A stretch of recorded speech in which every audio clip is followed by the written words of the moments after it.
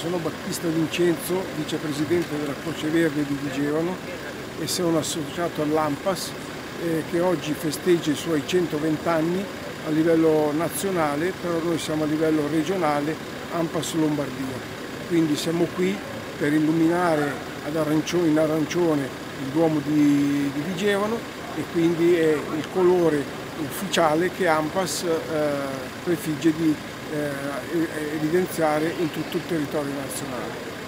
Buonasera a tutti, io sono Fabio Negrello, eh, volontario e consigliere della Croce Azzurra Vigevano e questa sera siamo qui insieme alla Croce Verde, nostra consorella di Vigevano, eh, proprio per festeggiare i 120 anni di AMPAS. AMPAS è l'Associazione Nazionale delle Pubbliche Assistenze che si occupa non solo di soccorso sanitario ma anche di protezione civile e formazione proprio in questi settori.